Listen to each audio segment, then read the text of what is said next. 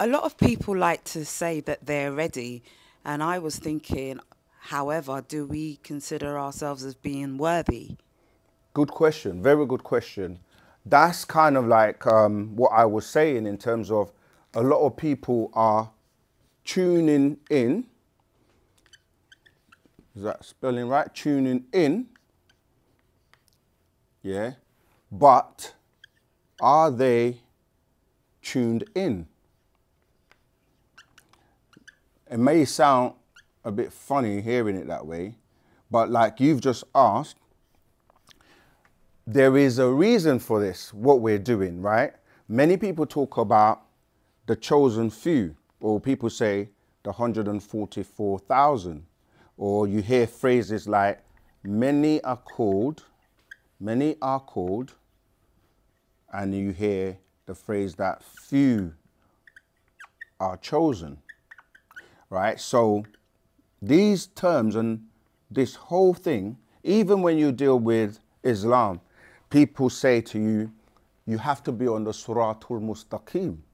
And when you ask, what does that mean? It means the straight and narrow path, right? And the master teacher, Pana Babyanun, Dr. Malachi Z. York, in the Man from Planet Rizq book, explained to us that this Suratul Mustaqim, or the straight and narrow path, is, is actually a physical path when those who are chosen, or shall I say, before you're chosen, you have to prove yourself, as you said, worthy, right? You have to be worthy because even Jesus said that you can't take pearls and throw them to swine, right? And that was again a metaphor for saying that if it was that easy for everyone to make it, there wouldn't be any trials and tribulations. Even the book of Revelations talks that you have to go through trials and tribulations. And that's to select out of those that are called, those that are chosen. So you're right, because there's so much information being put out in the world now, and a lot of people are putting out information and it sounds heavy. Everyone thinks they know it. Everyone thinks, yeah, um, I'm ready. I know about, you know, Anunnaki. I know about you know, I've been studying, I've been reading the scriptures, but they forget that there is a process. There's somebody that is going to be doing the choosing, right? And that someone is where people say the names are written in their book of life for these people that are going to make it. So you're right to be worthy, meaning are you worth are you worth it? Are you somebody that represents that godliness, that spiritual being, that person that is tuned in, not just tuning in and watching videos and reading books and but are you turning yourself inside out? Are you cleaning yourself inside out? Are you one of those beings that is doing the works? Because they say knowledge alone without works is in vain. You can't just, even in Wu Sabat, the master teacher teaches that there are many people that are studying the information, studying the scrolls, studying the language, but if they're not putting it into action and implementing what they're studying, then it's like it's all in vain. And how you put it into practice is by what we call a shuk, right? So there's an actual partarak called the three loves, right? That explains what a shuk is because when you're dealing with the three types of love, you know, you're dealing with love for yourself. You're dealing with love for like your mate, right? But the the love that a shuk is dealing with is the love that we say is unconditional. So, unconditional, meaning that it shouldn't be about how you feel about somebody because unconditional love is not based on how you feel or how you feel about a person. So whatever differences or whatever clashes you may have with somebody, if you, if you use a shuk, you should allow a shuk, which is unconditional love, right? to override everything else because unconditional love is we've got to get the job done regardless of our differences. We've got to come together, work together, and by your works, right? That's individually as well as collectively. So when you're individually working on yourself, you start to change. You change your aura, you change the, the food you eat, you change the way you think, you represent culture because there are lots of people teaching, but they can only take you so far and they can't give you your entire culture. As we say, your, your dress, your language, your way of practicing how you communicate with your ancestors. Are we building? Are we working together? Because, like the master says, it's not an individual alone that's going to free him, it's a collective task. So, yes, your question is such a good question because just because you think you're ready does not mean you're ready because somebody has to tell you you're ready. So if you were studying for a course, you could be doing, you know, your homework, turning up for class, etc. But ultimately, you have to take an exam. You have to be put in front of the person who's going to decide whether you're worthy or not.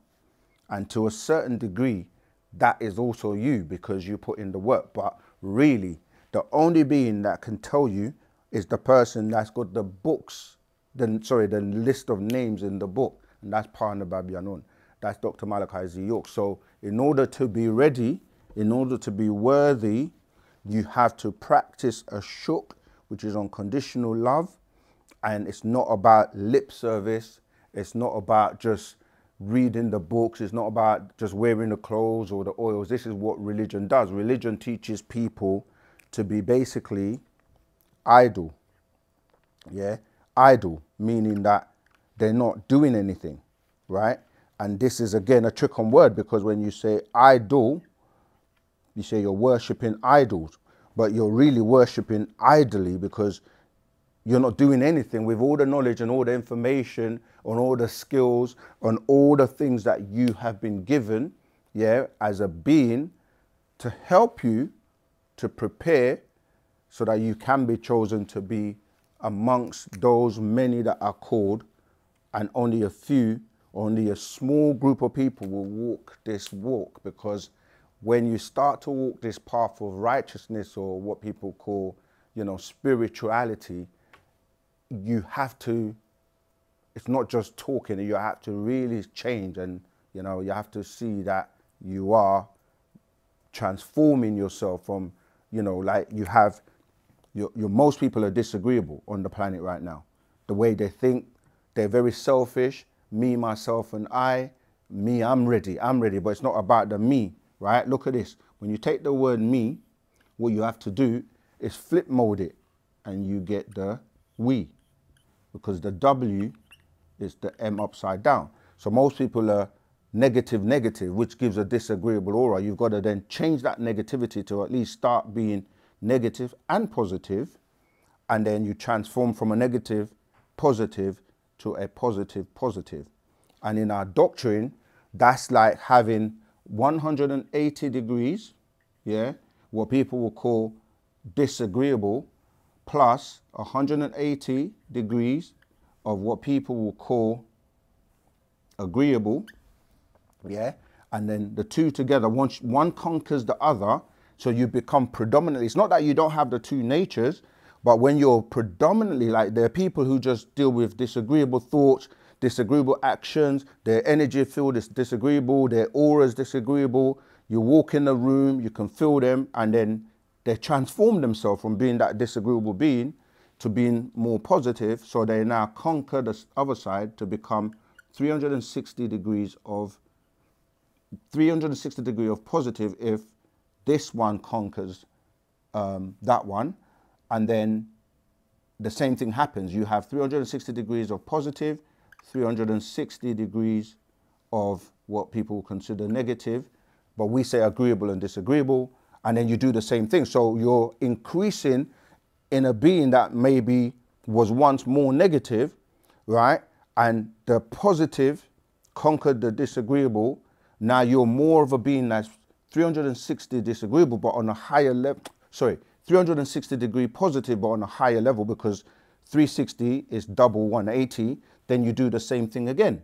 And then when you conquer again, if the 360 conquers the 360 disagreeable, you get to being a 720 degree being, which is like becoming the highest of yourself. So you've gone from 180 degrees, let's say negative, to being 360 degree positive, and then you've done it again. And you can go the other way too. So you could be positive and you're doing lots of disagreeable things, and you become 360 degree negative, which is even more disagreeable than the 180 degrees, and then you do the same thing and you become a 720 degree disagreeable being, you see. So really there are two sides and this is where most of the wars on the planet and what we're talking about is humanity that or anybody on the planet who is tuning into the the positive side will say is truth. Yeah. Regardless, doesn't matter what color you are, what age you are, if you're on the side of truth, as opposed to the side of lies, which is the other side, yeah, and these two are polarities that create um, an aura on the planet. You know, you have an individual aura, you have a collective aura, and you have the planet itself has an aura based on, you know, the the amount of the balance between negativity and positivity, or agreeable and disagreeable. So there's something called the entropy effect, right?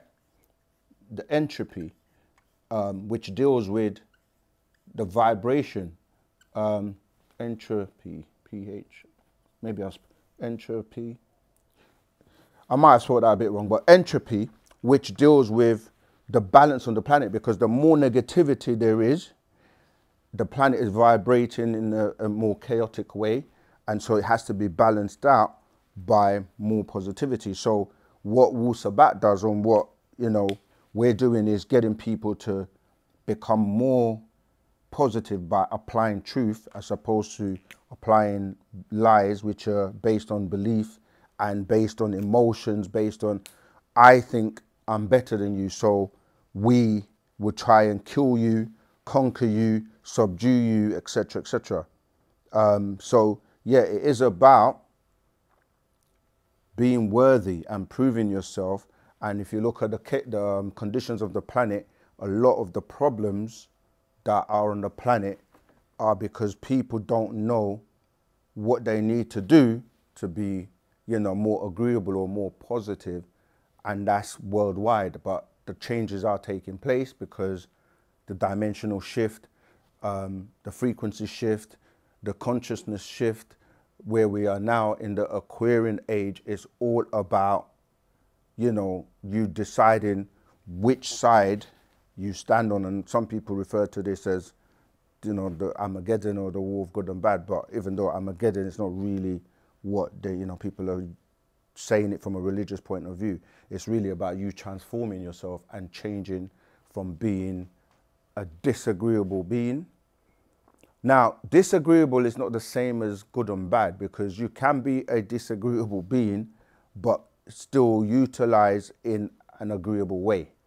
Um, so that, for example, like I keep saying, like if you have to defend yourself, you're going to need your disagreeable side in that sense because when you do something that people may consider disagreeable, sometimes it's necessary to bring about the change but really it should be about, you know, aligning yourself on this side with the nine ether, because nine ether um, deals with balance, and this side deals with a lot of chaos. Yeah, so yeah, so yeah, it's about being worthy, and you prove yourself by way of your actions. Yeah, your actions, and your actions are recorded in your matrix. So your hands, they record energetically everything you've ever touched because you have a matrix, you have information. Your eyes, their solar panels, they record everything you've ever seen. Your tongue records everything it tastes because it's all data that's being constantly collected by you, you know, as as that being that is able to record everything that you do. And this is the concept given to you in religion, especially in Islam, of having, you know, two angels, one on your left hand side and one on your right hand side, who are constantly recording and monitoring what you do. So you can't really lie because everything is recorded and your matrix will speak for itself when we start to look at when you're being deemed to be worthy or not, the information you have recorded by way of your your thoughts, your actions, your intentions as well. Um, these higher beings that are doing what people are calling the judgment um, are going to be able to look at you, look at your matrix, look at your aura, look at the deeds, look at your intentions, look at the things you've done, and determine whether or not you're worthy. All right? Until the next time, peace and love. Wadu.